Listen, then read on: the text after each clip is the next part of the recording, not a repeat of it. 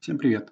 Как за 5 минут установить open source администраторскую панель а, в любую игру на Roblox? Все очень просто, я вам сейчас покажу. А, вы, наверное, знаете, что огромное количество модулей и в Toolbox и так далее есть а, администраторских панелей. Ну, не все так чисто с этими панелями. Некоторые панели не open source, значит вы пользоваться можете, но менять исходный код не можете. И иногда даже не можете посмотреть этот исходный код. Ну, я буквально на первую, на вторую я нашел административную панель, которая у нас поддерживает, что она поддерживает? Предупреждение пользователя, кик, бан на текущем сервере и глобальный бан на всех ваших серверах. Так, ну, мьюта нету, ну и ладно. Итак, а, давайте не будем читать, вы все это почитаете потом с, Google, с Google переводчиком. Как настроить, я вам расскажу примерно. Так, вот смотрим, есть у нас файл. Скачиваем его. Он сохранился. Проверяется безопасность. Так, мы имеем нашу игру, любую. Она у нас обязательно должна быть опубликована. Published. Опубликуйте, если не сделано. Далее должны, переходим во вкладку Home, ставим Game Settings, опции, опции нашей игры. И мы должны разрешить доступ к Data Stores, э, к тем местам, к базам данных, где у нас будут храниться наши наказанные игроки. Так, ставим ОК. Кстати, вот такая штука классная есть. Это просто фантастические можно вещи будет сделать с Roblox, в том числе и для админок. Э, но это как-нибудь в другой раз. Так. Разрешили. Теперь наша игра готова. Так. Что же мы теперь делаем? В любом месте, ну, на Workspace, правой кнопкой нажали и выбираем Insert from File. Значит, добавь к нам несколько файлов из какого-то файлика. Так. Вот у меня единственный файл. RBXM у него расширение. Окей, добавили. Появилась папка. Админ панель Setup. Окей. Открываем инструкции и по ним будем действовать. Admin Server Script, так вот он, Admin Server Script, а, должен лежать в Server Script Service. Ну окей. Хватаем и тащим Server Script Service. Кинули. Так, Admin Event и Admin GUI должны быть в replicated storage. Вот в этом реплик. Так, админ event и админ GUI в replicated storage. Окей, здесь у вас могут ваши скрипты какие-то лежать и так далее. А, имена не должны, конечно, совпадать. Если у вас имена совпадают, с этими именами свои имена, пожалуйста, исправьте. Так, ну и GUI клон Handler нужно перенести а, в стартер GUI, чтобы менюшку можно было показывать. Стартер GUI. Отпускаем. Так. В инструкциях больше ничего нет. Можно удалить инструкции можно удалить эту папку. Э, в принципе, есть кое-какие инструкции здесь. Ну, давайте сразу запустим. Я, кстати, не проверял. Еще такую штуку, когда я себя не добавил админ, как будет работать. Так, вызываем админку. Так, чат. И пишем двоеточие.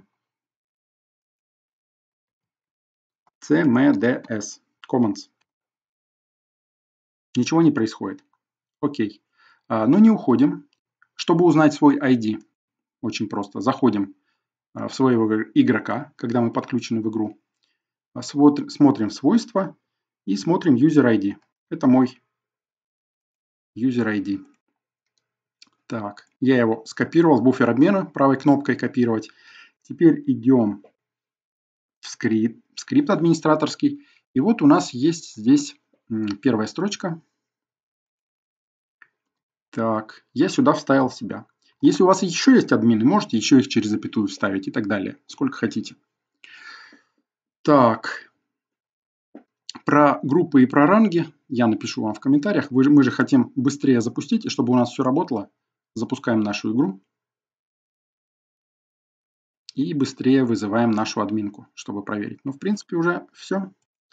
Давайте пробуем печатать CMDS. Появилась админская панель. Пытаемся какую-нибудь ерунду написать, предупредить пользователя. Говорит, плеера такого нет. Так, выпнуть какого-нибудь игрока, тоже такого нет.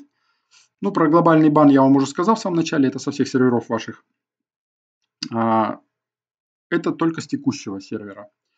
Так, давайте попробуем себя киканем.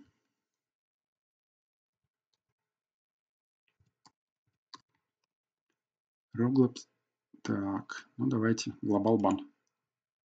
Вы не можете на себя это применить. Также вы не сможете забанить ни себя, ни своих друзей, администраторов и так далее.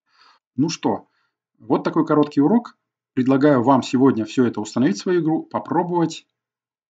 А, чего я здесь не вижу пока, но я в коде еще не копался. А, вот, вот, вот, ребят, пока еще не ушел. Во-первых, как разбанивать? Для меня это загадка, я пока не смотрел.